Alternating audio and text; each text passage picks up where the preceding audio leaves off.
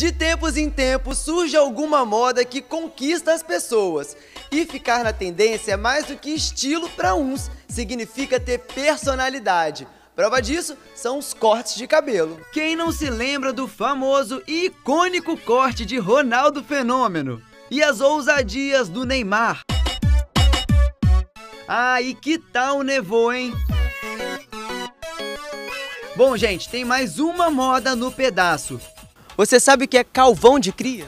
Não. Theo, você teria coragem de fazer esse corte de cabelo? Não. Rapaz, pra quem tem coragem eu acho bom, né? Agora pra quem não tem... Eu mesmo vi, eu fiquei chocado na hora. Eu falei, como assim alguém pode lançar um, um calvão de cria, como a rapaziada fala? É isso mesmo que você tá pensando, viu? É um corte que imita uma pessoa calva. Mas apesar de muita gente não achar, como eu posso dizer, bonito, tem uma garotada que animou. E não é só homem que tá fazendo não, viu?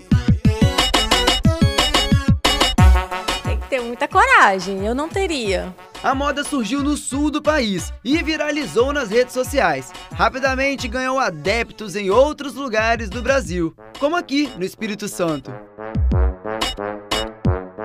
Isso surgiu aqui na barbearia em 2021, quando mesmo um cliente chegou e pediu para realizar esse corte. Toda a equipe de barbeiro falou: Cara, sério, é isso mesmo que você quer fazer? Tem certeza? Não, primeira coisa que eu pensei, eu falei: Isso não vai dar certo, isso não vai progredir, isso não vai para frente de jeito nenhum. Mas não é que deu certo. O Alex contou que muita gente procura esse corte para momentos, tipo numa festa, sabe? E no dia seguinte já tira. E a gente tá até apostando que vai ter bloco de carnaval, de carnaval dos calvões aí que vão fazer isso. Tem que ter coragem para fazer esse corte, né?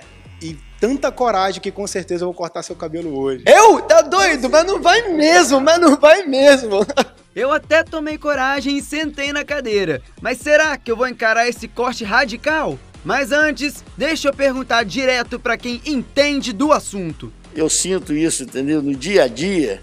Mas a natureza trouxe a moda até mim, né? Então eu não tenho o que reclamar, não. Tem que viver com ela. Mas para quem não é careca, é preciso ter coragem para encarar essa nova moda. Matheus, tá preparado? Pô, te falar a verdade, a gente nunca tá preparado não, né? Mas vamos lá, né? Vou te falar que essa é a parte mais dolorida do corte.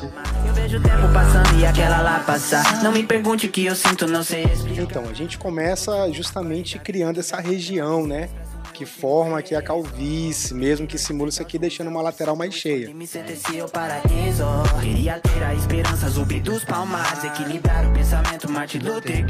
Você se olhando agora no espelho, o que, que você acha?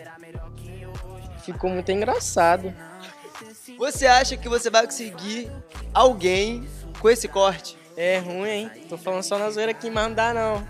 Mas não dá não, não dá não.